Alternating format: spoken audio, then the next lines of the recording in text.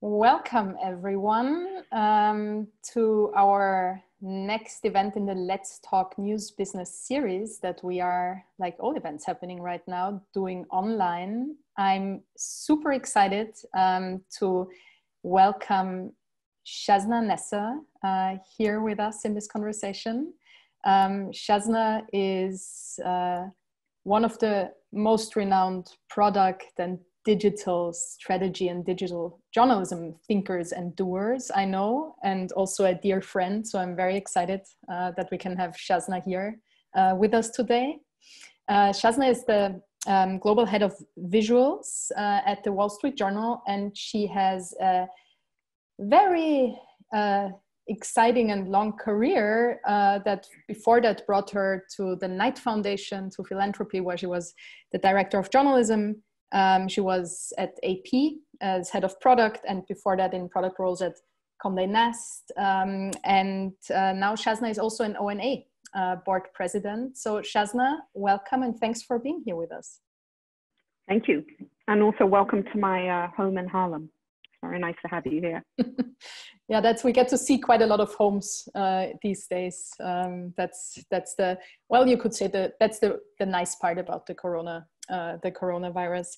So Shazna, we uh, when we decided um, on our topic for today, um, we said that we would uh, talk about the business case for visual journalism. The whole series that we are doing is really um, geared towards, um, you know, tackling the difficult business issues that we are facing and talking about how to rethink the business side. But very often the business side is very much connected to the editorial side, to the product side, to the marketing side of things. So this is what we're going to look at today. Uh, I'd encourage all the participants, um, feel free to um, send in your questions via the Q&A tool, ideally. Uh, we're going to answer questions throughout the conversation. Shazna and I are going to do a bit back and forth in the beginning, but please feel free to already start um, posting questions in the uh, Q&A tool that Shazna is going to uh, answer uh, when we get to the Q&A part. Um, so Shazna, let me maybe start with, with one question that's kind of a little bit of a um, devil's advocate question, if you if you'd like. Um, obviously one could say, well, come on, we have Corona, uh, we have uh, police brutality and racism that we deal with, um, we have a large business crisis looming. Is it really that important um, to talk about storytelling and visual journalism? Mm. What would you say um, to that? I would say absolutely yes. Um, I would say that that it's a bit like saying, should we talk about journalism? Period. And in a moment like this, we've already seen through um, interest from readers and members and audiences everywhere that there is a voracious appetite for the facts and for evidence. And um, I think there is a very great, you know, there's a very uh, obvious connection between visual journalism and the presentation and the uh, you know, delivering uh, stories in a way that uh, a lot of people want to digest and understand stories right now is through obviously data. Every story there are data angles and there are people angles. And both of these angles can be very, very powerfully told through storytelling that perhaps isn't in sort of the classic um, long form text narrative, even, you know, even though there is a place for that type of journalism as well, of course. So what I saw in quite a lot of traditional newsrooms is that storytelling so everything that's visual everything that's multimedia everything that's data is sometimes still seen as kind of just a sprinkle on the cake so you basically mm. finish your research you finish your stories um, and then the, at the end someone you know makes a pretty uh, infographic or a nice picture right. out of it. Um, is that something that, that you encountered Yes, definitely. Um, I've been in this game a long time. I, I, um, I started, uh, I started in the field in 99 in, in the journalism field in visual journalism. And I left for a while and I came back and it was really shocking to me when I came back, but I, I hadn't seen a giant leap that things were still, things are still a little marginal when it came to telling stories in different, in different ways. Um, but I do think it's getting better. I do think there's enough, we have more and more data now. We can show evidence. Look, this is what Um, this is what resonates with people. And look, the the way people read news and buy news and experience news should come in all different formats. Um, I think technology has also changed that a great deal. Our small screens, our phones, mobile obviously is a increasingly growing in, in how people get information, using information, and um, telling stories in very small amounts of space uh, can be done very, very efficiently with, uh, with different visual formats, whether it's video, whether it's um, graphics, data visualizations, photography, and a blend of all of the above, inter interlacing text with it. I think we really have to tell stories in the way they are told best, and that's how you're going to resonate with your audience when you think about some of the organizations you worked in, I think it's fair to say, although both AP and Wall Street Journal are very innovative organizations, they are also relatively, in their history, relatively text centric. So I assume that a lot of your role also involves uh, change management and, and driving the transformation in a broader sense than just visual. Yeah, absolutely. I, I sometimes uh, sometimes wince. Um, I feel like I've uh, been in this change management role for forever, and but it's actually very powerful. It's very it's very um, it's very powerful because actually when I was at the when I was at the AP, I was uh, I was sent to a program which was formerly called the Sulzberger program, now called the Media Transformation Challenge, which is a little bit of a drier term, of course. Um, but at that point, I I was a visual journalist. I really considered myself an artist, a creative person. I didn't want to care about the, the business side of things. It was boring, it was corporate. And uh, it was a real eye opener to me to uh, be able to connect what I did to the, the rest of the world, to, my, to our audiences, to the business. And since then, it's been a very powerful driving force for me to, to see the whole picture and to be able to um, influence the picture and to help the whole picture. Um, but change management is is is a slow game. It, to do it properly, I think you really have to go deep. You have to go really, really deep and have to just keep repeating things again and again and again. And it's been over 20 years and I'm still repeating the same thing. But I do see progress. I do see amazing progress. And I see um, obviously big organizations like the Journal and uh, the New York Times and the Post, and but also great local news organizations. Um, you know, I'm very involved with ONA, and I'm seeing lots of fantastic uh, data-driven journalism and database, data, public-facing databases that help people like search for their own, uh, you know, information around schools or around police policing, and uh, be able to sort of translate those experiences to their own individual needs. So I do think things have changed, but um, change management is, is it takes a really long time and to some degree, you know, you can do a lot of grassroots things and try and change things from from the ground up. But often in big corporations and big organizations, you really absolutely need to convince everybody around you, but also everybody above you, because it's very hard to progress without that.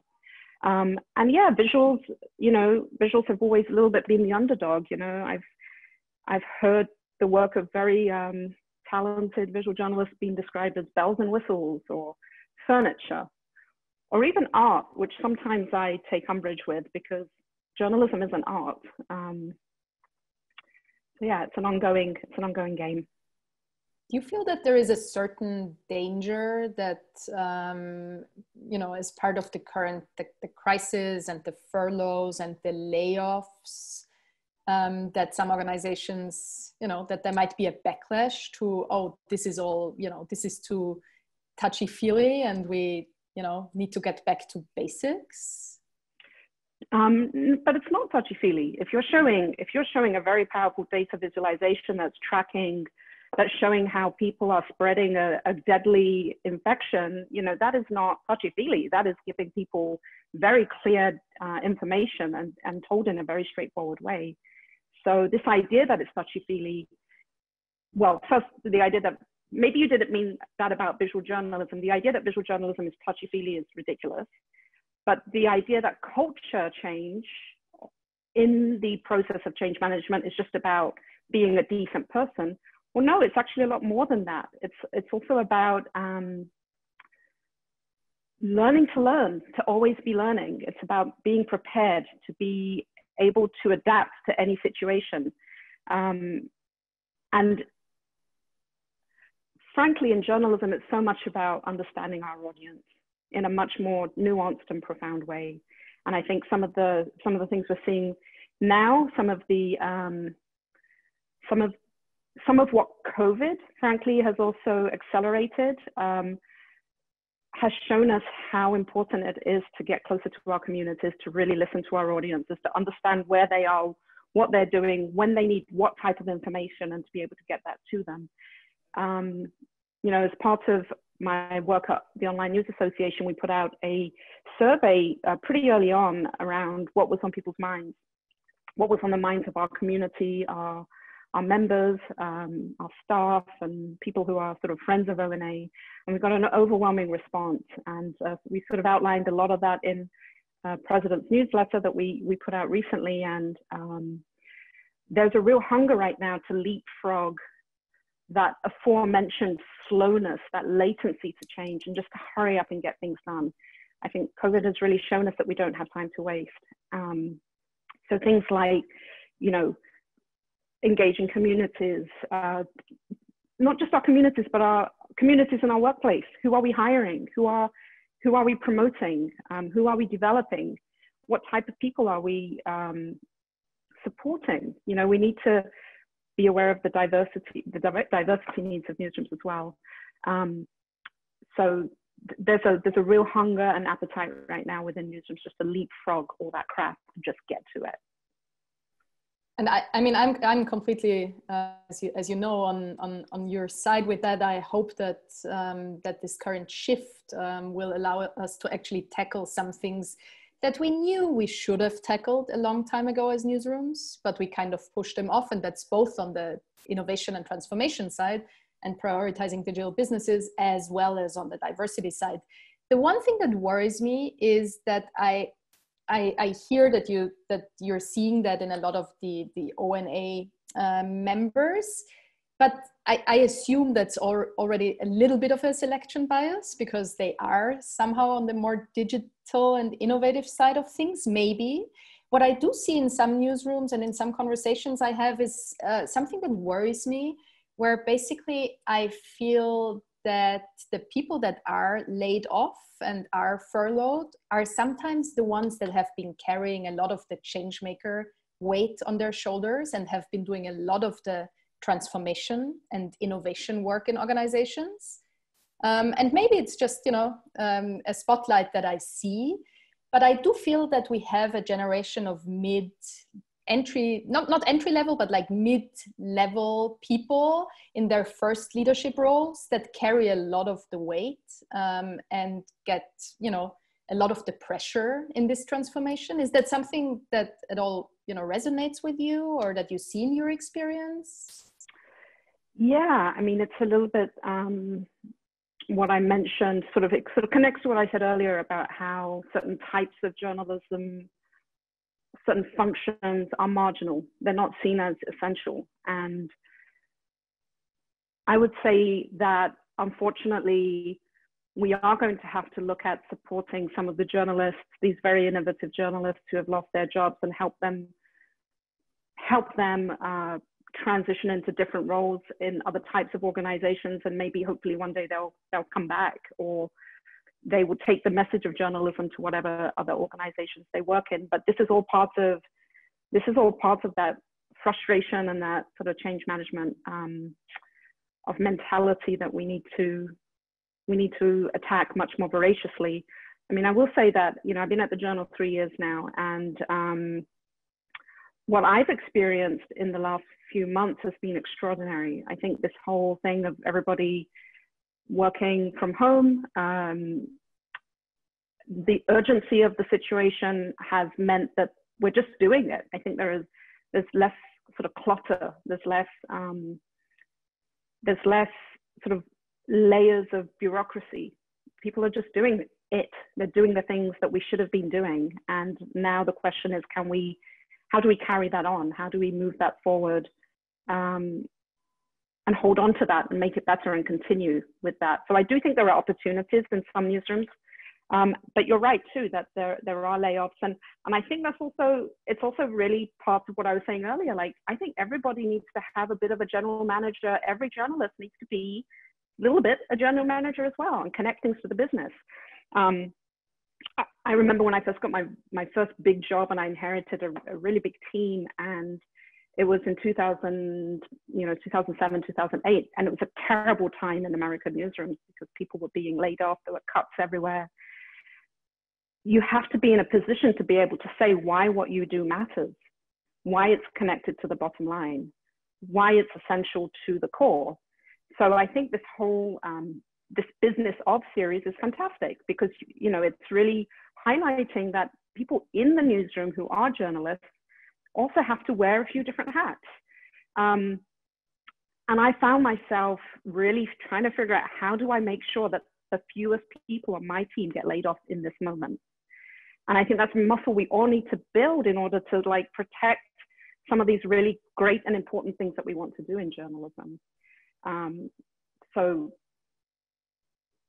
let's stay with the. I, the, I, I also can I just one more thing. I, I also find people a little bit unimaginative with visual journalism. Um, when I worked at the AP um, and, and, the business piece of it, when I worked at the AP, AP is actually fantastic with its photography. Like we ha- like AP has like gold star photography, incredible photography, obviously video as well. But when it came to things that were a bit more dynamic in terms of digital experiences, um, they were a little bit stuck on how to turn that into a business. And uh, that was something I pushed really hard uh, on. And I think we can be a lot more imaginative than we are right now because we're so stuck with sort of static, things that are static, whether it's text or a photo or a video that sits in a player.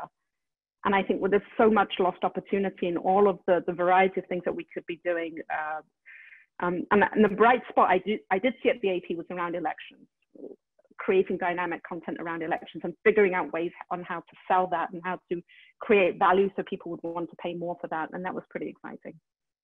Definitely. And let's stay a little bit on the, the business off uh, side uh, of things and talk a little bit about how to make that business case. And by the way, for the participants who joined us later, please feel free to already send your questions, ideally in the Q&A tool. We're gonna spend the last 20 minutes uh, answering uh, these questions. We already have some, but please feel free to add some more.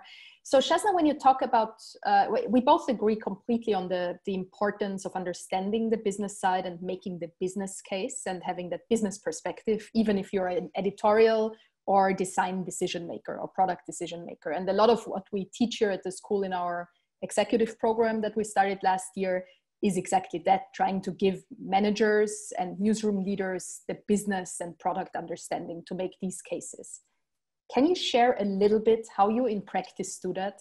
How do you how do you make the business case for something that's sometimes not as easily tangible as saying oh 10,000 clicks that translates into you know that and that many ad dollars. How do you make that connection in your daily work well i mean I'll start with a non-business, non-obvious business term, and that is that my business is journalism. My business is news and information and, and delivering that to the public. Um, that's how we make money. And so um, we've done a lot of surveys, we've done a lot of uh, data work and found that our audience really wants to see information in different formats and especially a younger and more tech savvy audience. So pulling on that data when I see some of these surveys, I, I grab those, those specific decks and I make sure that I present them at every opportunity I get when I'm, when I'm talking to at new orientation meetings when I'm talking to different departments. I always make sure I'm repeating data, internal data that we ourselves have collected about these different formats. Um, so that's one way of doing it. Another thing is just, um, I think a lot of visual teams historically have been much more business minded, graphics especially, just because of its connection to product and technology. I would say the graphics departments historically have been the proto newsroom product teams because they very early on have had to uh, tie journalism in with user needs, technology, um, advertisers, sponsorships, uh, and so I, there's a history of that within visual teams. They've also historically been the smaller teams in ratio to the rest of the newsroom.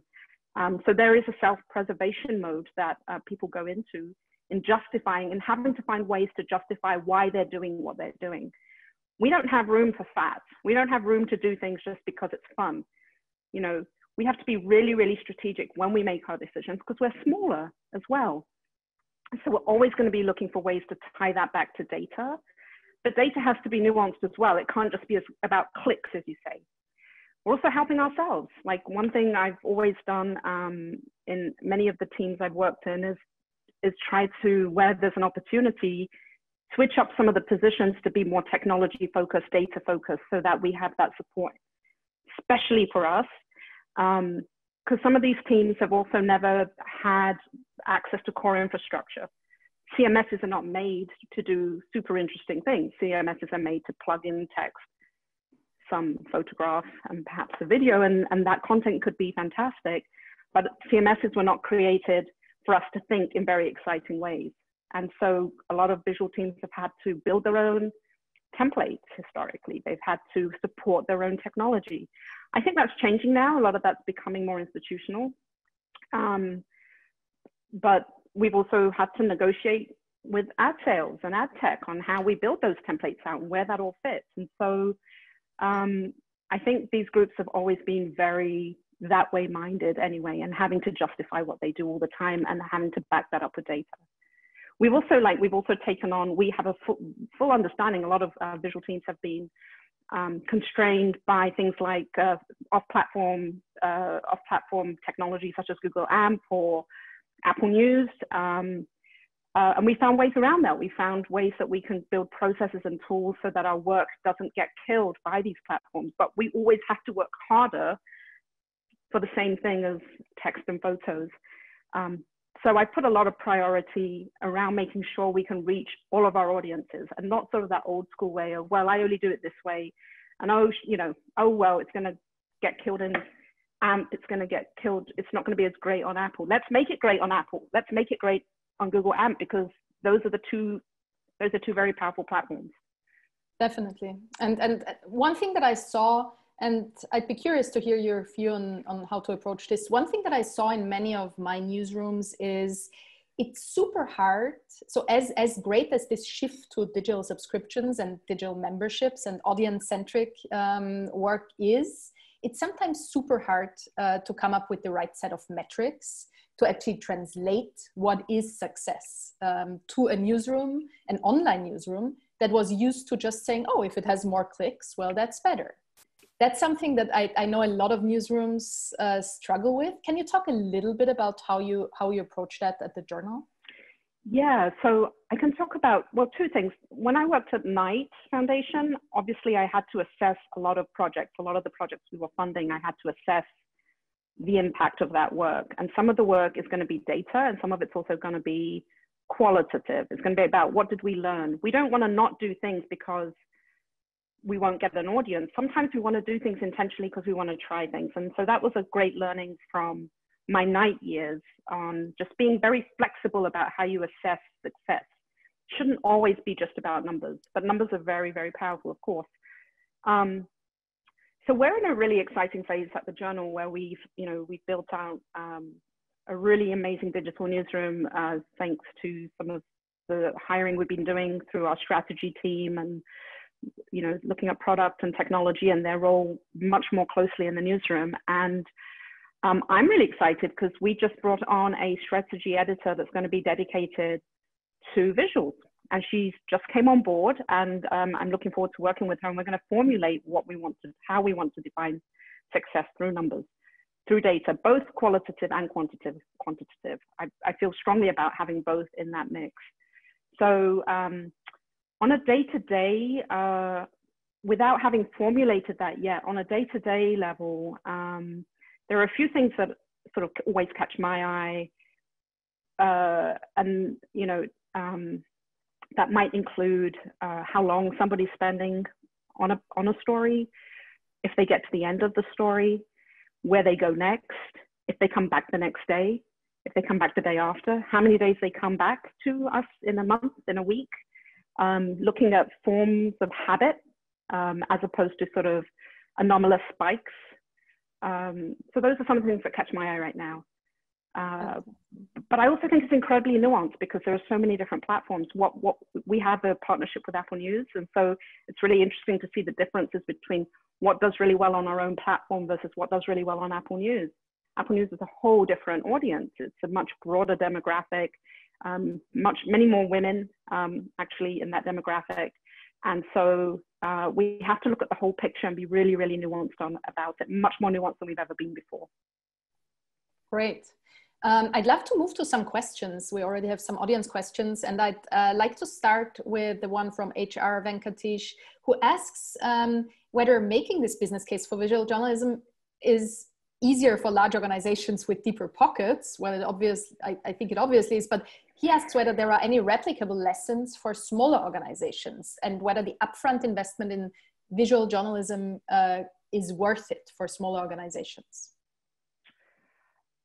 I well, first of all, it's going to depend on what audience uh, a, a small organization is trying to attract. I know that there are plenty of small local organizations who mostly want to um, target um, influencers in policy shaping, and visual journalism might not be as important. So I think number one, it's important to know who your audience is. But number two, I, I have a really hard time believing that visual, like telling stories outside of a you know, hypothetically 900 word narrative is the is going to satisfy, satisfy anybody at any moment. And so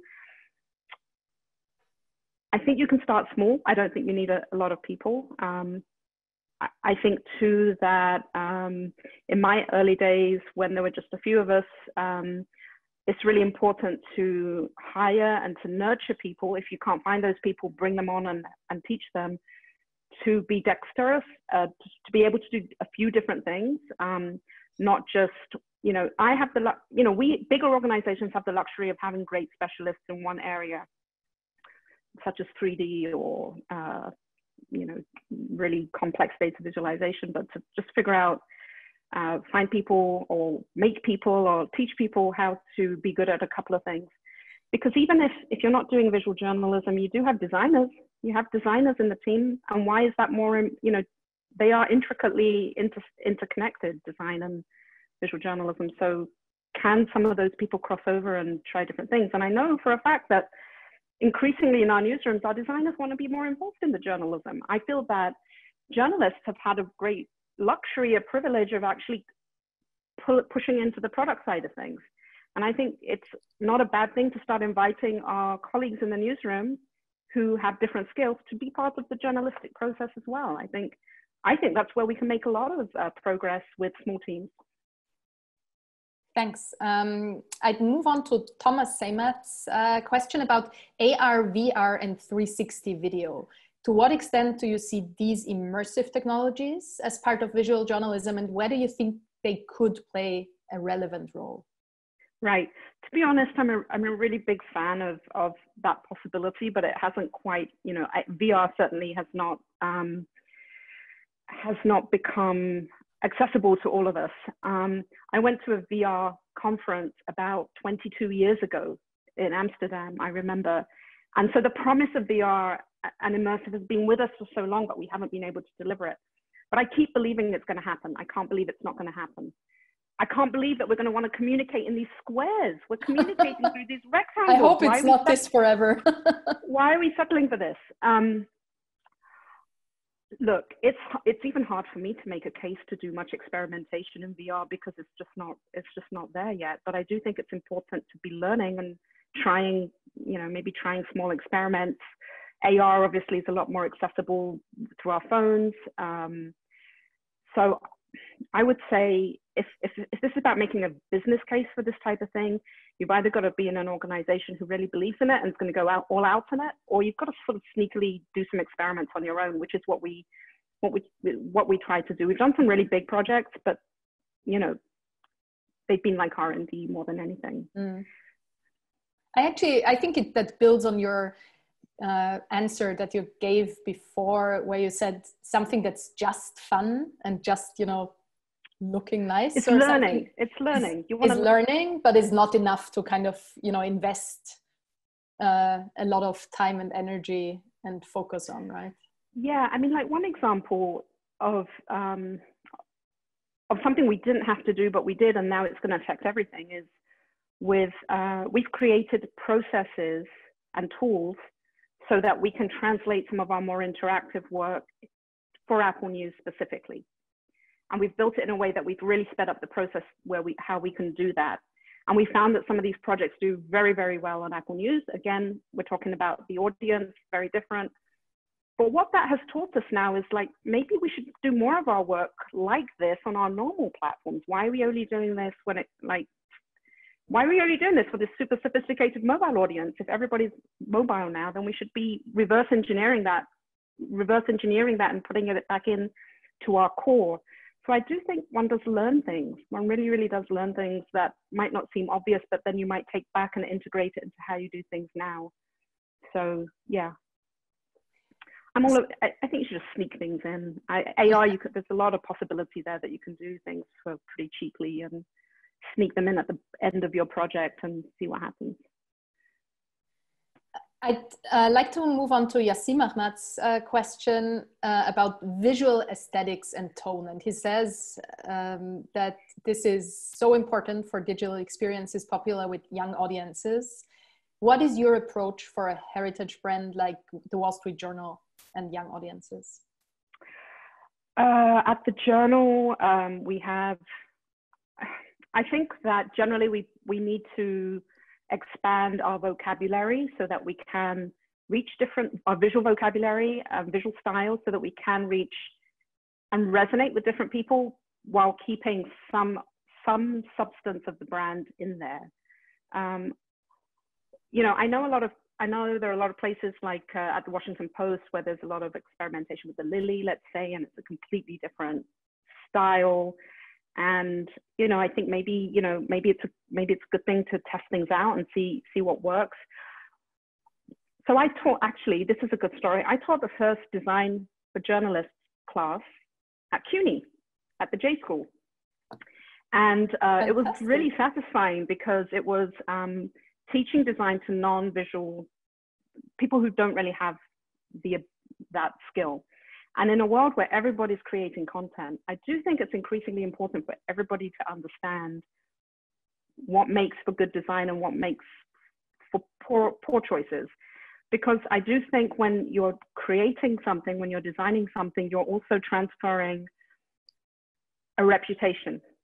You know, design also can be translated into trust or mistrust.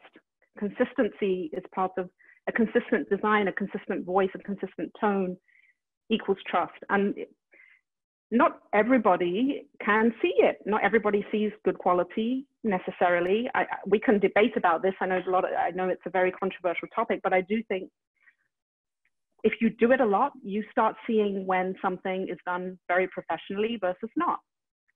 But not everything needs to be professional. Some some things can be more of a guerrilla style, but you have to be really intentional. Actually, I think it's a super question because it gets into just so much. It gets into UI and UX and um, how you're conveying your brand, uh, your quality, your promise to a reader is through design. And so it's really important to, to get some, you know, train people up, train everybody up to understand it, even if they're not doing it on a daily basis. They're interacting with design all the time. Actually, Jeff's Jeff Jarvis' question question that he just asked is kind of building on that a little. Um, and he asked, uh, given that the journal famously has no photos and was hardly visual in its history, uh, he wonders whether there is any cultural lore origin story about the entry of visual journalism in the institution, or is that ancient history? Well, what I do know is that, well, there were always charts. There were always great charts, very, very, very efficient chart and the, the history of our stipples, um, the, the, the, dot drawings that are done by our artists. Um, but a, an interesting story, and I, I, as I understand, our new CEO, um, Almar Latour, who became CEO a few weeks ago um, and has been at Dow Jones and was a journalist at the Wall Street Journal for a long time, um, he was behind bringing more photography into uh, into the journal's presence, and I think it's probably the web that drove that. It was probably the web that drove probably drove the print product also becoming more visual. Um, so I'm really excited that Almar is now CEO. If he was the one who brought photography in, then that means you know a lot more promise for for even more strong uh, visual journalism. So there have been visuals. They've been small, and I'll be honest. You know, I I I don't think historically people think of the journal and think, wow, lush lush visuals. Um, but we've done a lot of great work in the last few years to really, you know, to bring in new formats that not not everything needs to be a chart necessarily. You know, sometimes it it can be a wonderful like 3D explainer of how the Boeing Max um, had all the had all its issues, rather than doing that in 10 charts. Let's be more visceral about it and just show what happened. With with much, so we've been hiring a lot of um, specialists. As I said before, we you know it's you kind of need some people to be really good at some things and to bring them on to to reach the kind of quality that you want to be doing. Mm. Mm. So Jeff, I don't know if that answers your question, but um, as I understand, our current CEO brought in photography, so I'm excited that he's he's in that role. Fantastic. Um, actually, Ariel Zirulnick's question kind of again build, builds on, on on these topics we've been talking about. For organizations that have this kind of text first tradition, or at least had this text first tradition, what are small habits they can adopt to begin incorporating visual journalists and visual yeah. considerations from the beginning? I think that's a great question. I think it's a really great question too. And um, what I find interesting, what it makes me think of is that visual teams have historically been the place where um, people come, people go to the visual teams when they want to do something that doesn't work in the CMS. And that includes text. That includes people who just want to format their text differently. They want to design it differently. Um, I think one very powerful tool in my experience has been um, sort of these mobile tap uh, tools, uh, formats. Julia talked a little bit about this in your last session, Anita, we've built our own internal tools. And it's been really interesting to work with sort of narrative focused reporters on some of these projects because it's very difficult to think about one card, one idea per card, and you, you sort of progress through.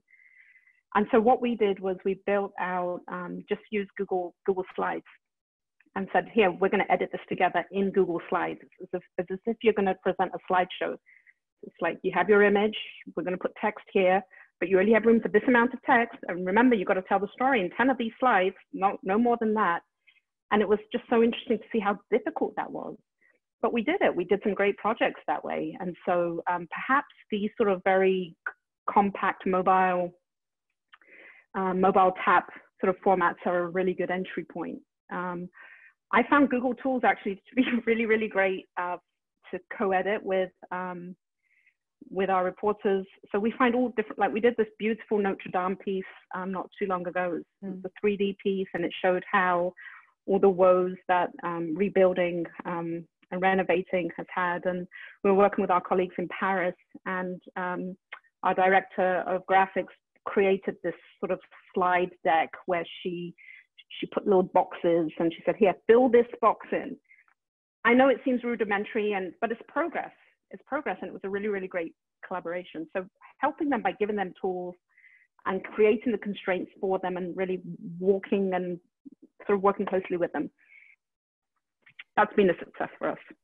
And I feel a lot of these things and what you just mentioned and talked about um, are actually also mean that you need people people like you people like your teams in roles that are able to do this translation work and connection mm-hmm. work and empathize, empathize with other parts of the organization i do feel yeah. that that is that is also a story of of translation and empathy that you're telling it's true and i've even started putting on job descriptions you know the ability to teach other reporters how to, you know expand visual vocabulary and to become more visual. We've created internal processes as well so that reporters who aren't who think they're not very visual have access to certain people in the news in the in the visual team so that they can collaborate on an idea they had very early on. So we're trying to transfer learning with process change as well. I also find actually most people are more visual than they think they are. Um, whenever I see someone's hands moving when they're trying to explain something, that's already a sign that they already are seeing what what what what it could be. Another interesting thing too um, is that sometimes visuals text is visual as well. And I, you know, one of my colleagues said this to me recently when I complained how everyone's coming to me for this thing, but it's it's really text. There's nothing visual about it. And she said, well, if you think about it, it's very visual because it's like a different way of laying the text out. And, and so that's another approach to getting reporters on board. Reporters who don't think they're visual is to think about what are different text formats. Even bullet, bullet points are a complete, used to be a mind-blowing new thing. Um, but there's also a shape to it and a legibility to it and a scannability to it that is, um, that is visual, but it's text as well if you think about the alphabet, it's visual. We learn how to read the alphabet, A, B, C, D. It, they're all shapes. And we learn how to understand those shapes.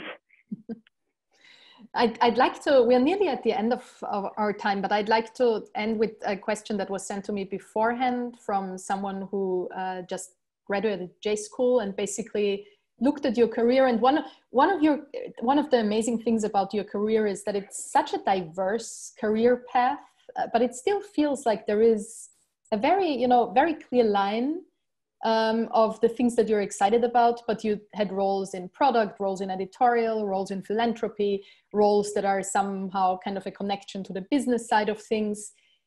How do you get there? That was the question that this person asked me. How do I how do I start if I want my career to be like this?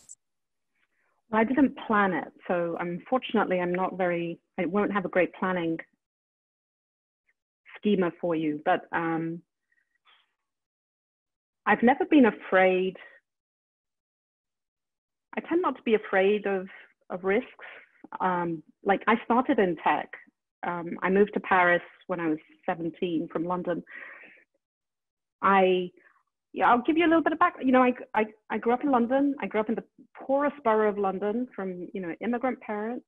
Um, I felt that my way out and my way of changing my life from how my parents' lives were was to work really hard. And I worked really, really, really hard. If you look at the early parts of my career, I was hunkered down in one organization. I was at the AP for quite a long time and I did two stints there. I think it's really important when you're younger that you really get good at your craft. I know that people want to jump quickly and they want to become managers and they want to get into all this other stuff, but it's really, really important to know what you're talking about because you've done it and you know what the pitfalls are. You know what the pros are, you know what the cons are. You can call bullshit when something is not true. Um, so in those early days to just, you know, it's, it's really easy to jump around, to see shiny objects. Um, I happened, it was all, I happened to have a visa problem, which kept me at one place for a really, really long time at the time when I could have worked in so many different places. But I think it was a really good lesson. It really made me hunker down and get disciplined and not be distracted and just get very, very, um, have a deep understanding of what I was doing, have a, and learn to be a journalist. I didn't go to journalism school. Um, I I studied French and English literature, um, went and worked in tech, um, and I learned to become a journalist on the job at the AP. So I had to earn my stripes. I had to stay there for a long time and build trust to show them that they could promote me into positions that maybe normally they wouldn't have given somebody like me in the past. So patience and hard work. It's, I guess, uh, very basic. No, but that's fantastic, fantastic advice, Shazna. And thanks for sharing that. And thanks for sharing so much. We are uh, at the end of our time here. Uh, that was our Let's Talk News Business conversation with Shazna Nessa, Global Head of Visuals at the Wall Street Journal. Thanks for joining us, Shazna. That was great. Thank you. Thank you. Um, and thanks for everyone who was uh, took part in this webinar and joined us for this conversation. Next week, uh, my colleague Jeff Jarvis is going to interview Richard Gingras, uh, the Vice President of News at Google, and they're going to talk about investing in local journalism after the pandemic. So please join us again next week uh, and have a nice day. Thanks. Bye. Bye, everyone.